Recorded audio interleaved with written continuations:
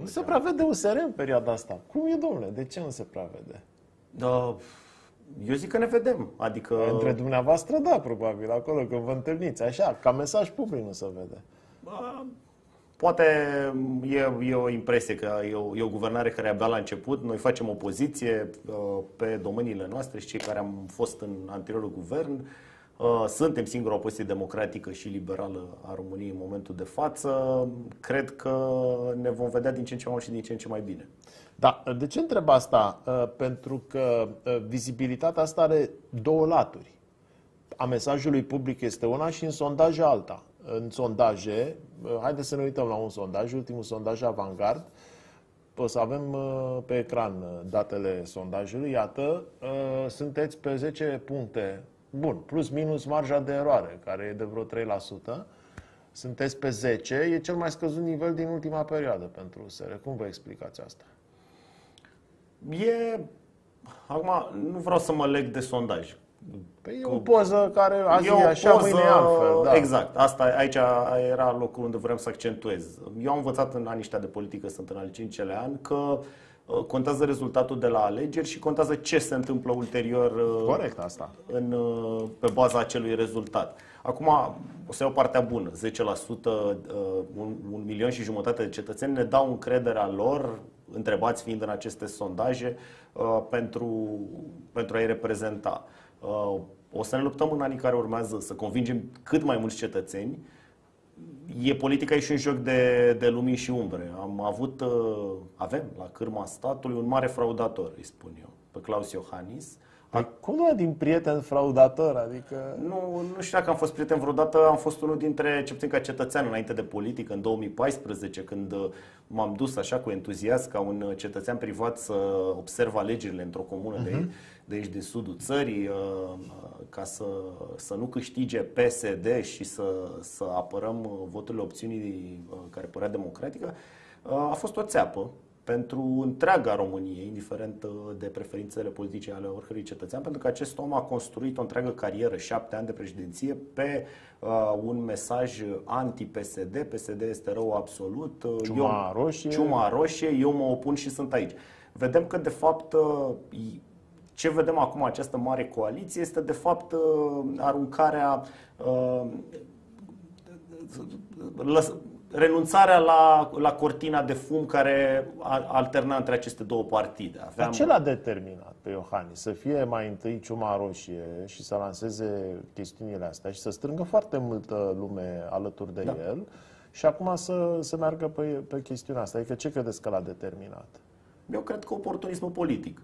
Și dacă ne uităm... ce are de câștigat și eventual ce are de pierdut din chestia asta? Păi a păcălit un segment important de societate, să spunem, România urbanului mare, urbanului mijlociu, uh, mai uh, pro-europeană, modernizatoare, demonizând cealaltă opțiune și prezentându-se în, în opoziție, când de fapt sunt două fețele aceleași monede. Și asta încercam să spun mai devreme, că acum ce vedem prin guvernul ăsta PSD, PNL, UDMR, este renunțarea la măști, uh, sistemul e la putere. La mască a renunțat Orban când și-a salvat ziua în Palatul Victoria. Nu e asta problema cu masca. Depinde de mască. Depinde de mască, dar eu cred că o, asem- o fraudă de asemenea proporții în care obții voturi în numele a ceva și apoi uh, acționezi politic complet diferit, nu s-a mai întâmplat în politica românească după Revoluție. Uh, cât de cât opțiunile... Nu, de regulă opțiunea era constantă pe tot parcursul mandatului. Și la Băsescu, și la Constantinescu. Da. La Iliescu nu mai vorbim.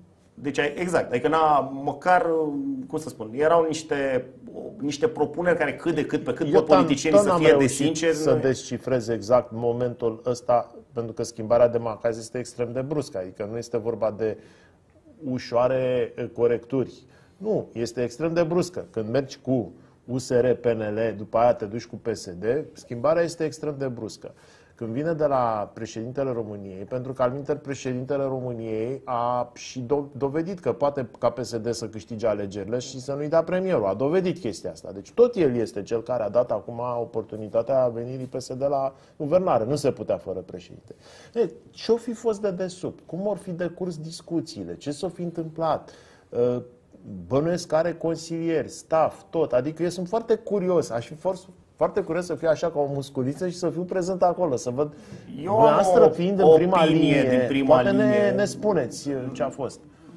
Vă spun opinia, opinia Sigur, mea. da. Uh, Cred că acolo se simte bine în ace- acest președinte, să nu uităm că provine din USL, înainte de lupta epocală cu Ponta și nu cu mult timp înainte, ci cu 8 luni înainte, în iarna uh, anterioară, era prim vicepreședinte al USL și chiar într-un moment ăsta de ruptură spunea sunt niște certuri, dar o să ne înțelegem, era prin februarie.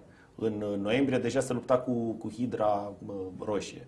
Uh, Cred că se simte bine acolo pentru că este, acesta este status quo statului român. Deci ca propunere politică, de data asta vorbind pe bune, deci nu propunere făcută din uh, lumini și uh, mașină de fum, este o propunere, domne, uh, nu suntem nici prea competenți și cam furăm, da, așa și așa, că nu e prea curată politica, da, vă dăm uh, ceva stabilitate uh, și opțiunea cunoscută. Ăsta este sistemul care a guvernat România 30 de ani. Prost, dacă ne uităm la rezultatele concrete. Dincolo de Îi ori... zic că bine dacă se uită la celelalte rezultate când spun ei că ați fost noastră la putere. Am înțeles. Uh, Ok, e dacă, dacă cele 8 fractura- luni în care noi am fost în, în, la guvernare cu un președinte care ne-a evacuat de la guvernare, cu un prim-ministru ostil... Dar când uh, ați aflat că veți fi evo- evacuați de la guvernare, care a fost momentul propriu-zis? Păi, uh, un prim moment a fost la demiterea intempestivă, trecând peste orice reguli, de coaliție, de parteneriat al lui Vlad Voiculescu. Al doilea moment e cunoscut, dar permanent uh, am simțit că deranjăm acest sistem cu, eu îi spun sistemul cu epoleți, așa, adică e o prietenie de asta transpartinică peste resurse, cu legături către uh, serviciile secrete a căror prezență vizibilă, invizibilă o cam simți peste Păi da, tot. dacă